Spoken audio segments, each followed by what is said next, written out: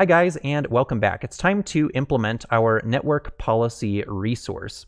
All right, so let's head over to the Kubernetes documentation. And what I typically like to do when I am creating a network policy manifest file is copy the example that is available under the Kubernetes documentation under concepts, services, load balancing, and networking. And then if you scroll down to the network policies documentation, this is kind of what talks about conceptually how network policies work, but they do include an example of the network policy resource. And then what you can do is just kind of trim out the parts of it that you don't want at any point in time. So let's copy that from here, and I'm going to fire up Microsoft Visual Studio Code here, and I'll just paste that in and I'll just change our language mode here to YAML so we get the proper syntax highlighting for this document.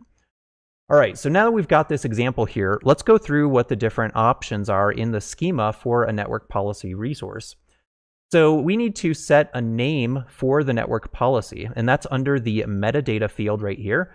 So we're going to change the name from test network policy to MySQL server dash inbound Of course, you could use whatever name you would like to, but I'm just going to call it MySQL Server Inbound since we are going to be accepting inbound traffic on TCP 3306 from other pods within the cluster. We also have the option to specify the namespace here. Of course, you can do the namespace option when you do a kubectl apply, but sometimes it's nice to just embed that in the manifest in the event that you accidentally forget to specify the namespace option, as you saw me do in earlier videos. So let's change our namespace just to net policy. And then down here under our spec, this is where we can configure the pod selector for the pods that we want this particular policy to apply to. Now, the policy itself is going to be applied to our MySQL Server pod right over here. So the label that we want to use to apply the network policy resource is purpose equals DB server not DB client, because we don't want the policy to apply to the client pods. We want the policy to apply to the pod where the inbound traffic is destined for. So let's go ahead and grab this label pair here and come back to our VS Code window, and we'll go ahead and just paste that in and just change the equal sign to a colon for proper YAML syntax. All right, so now that we've got that pod selector with the match labels set correctly, now we can take a look at the policy types here. And in this particular case, we are not worried about egress traffic. We only are going to have a rule for ingress traffic. And again, this is not the ingress resource in a Kubernetes cluster. This is ingress network traffic that is being ingressed to our MySQL Server pod. So I'm going to eliminate the egress option from policy types here because we are actually going to also remove entirely the egress section from the network policy because we are not controlling egress traffic with this particular policy. So that leaves us just with one last section here, which is our ingress section. Now the ingress section, as you can see, is an array as indicated by the dash here. That indicates that we have basically one rule right here, one ingress rule.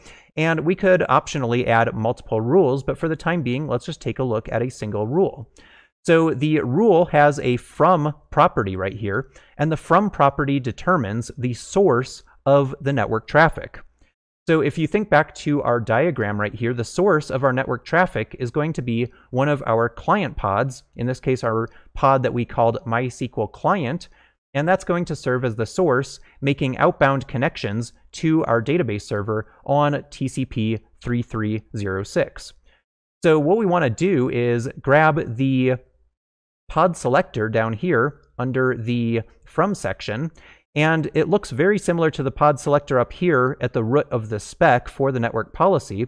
But when you're looking at the ingress rule here, you're actually selecting the pods that allow inbound access to the server pod.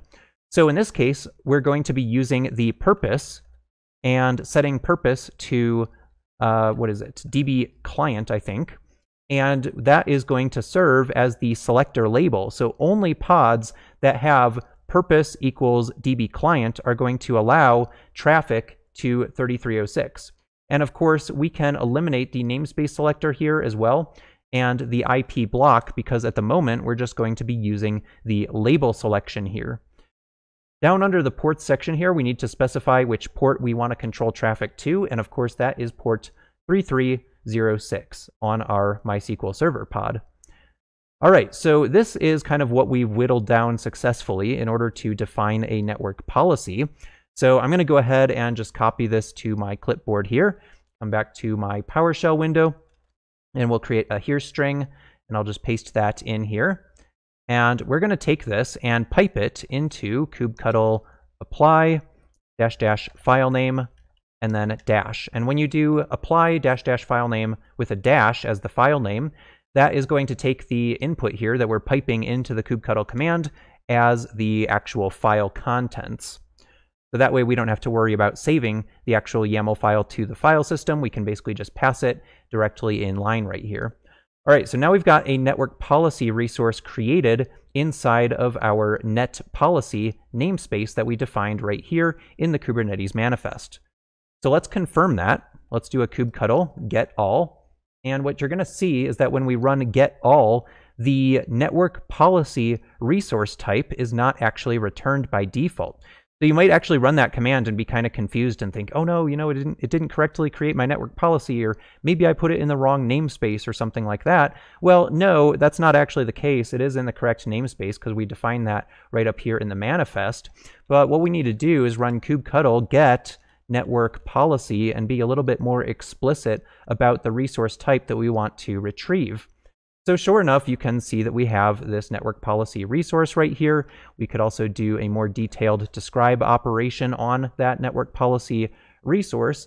And you'll see it has the pod selector here set to purpose equals DB server, allowing inbound to 3306, and the pod selector for the client side is purpose equals DB client. So let's switch back to our other tab here where we have our MySQL client. And we're still connected here, it looks like. And I can run the status command here. And in order to initiate a new connection, just to kind of prove that this is actually working, I'll actually specify my password inline right here by using equals and then the password.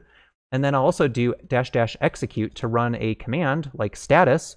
And as you can see, I can just run that command repeatedly, and I have inbound access to the MySQL Server pod. So that's acting just as we expected, right? We set everything up properly and that network traffic is allowed. However, what would happen if we spun up another pod and it did not have the correct label associated with it like our client pod has right here? Well, we're going to test that out in the next video. I hope this has been informative for you and I'd like to thank you for viewing.